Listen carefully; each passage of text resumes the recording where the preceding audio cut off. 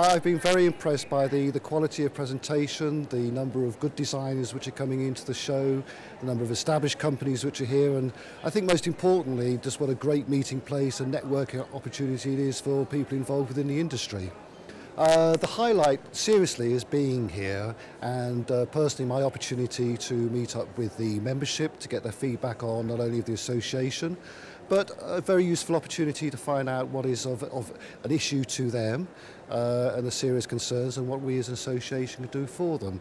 And also, very importantly, how we can help drive the show forward next year to increase the profile, the quality of attendees and uh, exhibitors as well. I believe it is a fantastic showcase. IJL, it truly represents the best of British design and people involved within the, the British uh, jewellery industry.